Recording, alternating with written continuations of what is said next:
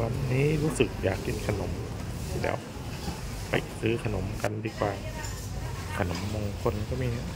ขนมโขรูปปลา อันนี้ขนมอะไรไม่รู้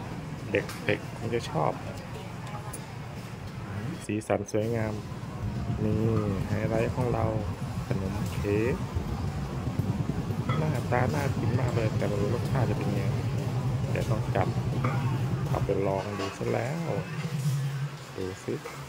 อืมแบบหน้าตาสวยงามอะไรน่ารักน่ากิน ขนมปังด้วยนะ ขนมปังก็หลายแบบมาแล้วเห็นลอดช่องดูว้าวน่ากินจริงเลยตัวเขียวเลยลอดช่องกระปุกเท่าไหร่ไม่รู้นี่สิ่งที่ เราเลือกปังพิซซ่าน่ากินกินกาแฟมันจะอร่อย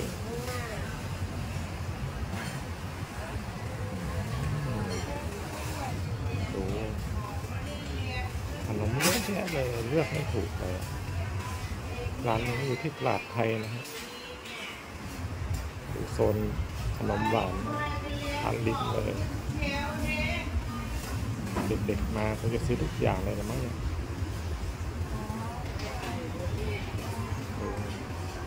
ขนมไทยก็มีนะพวกโอ้ขนมชั้นเฟู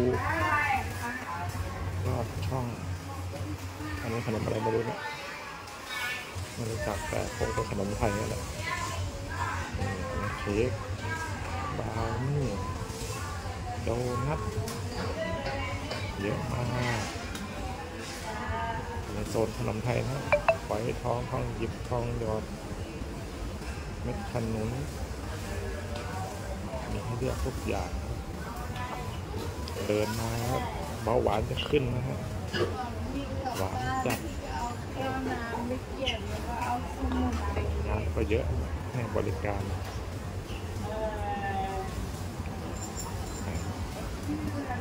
ท้อง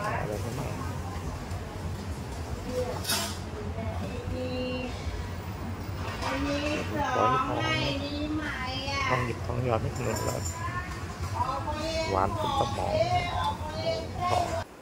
สีทองอลามเลย นี่ สวยมาก อันนี้เด็กคงจะชอบ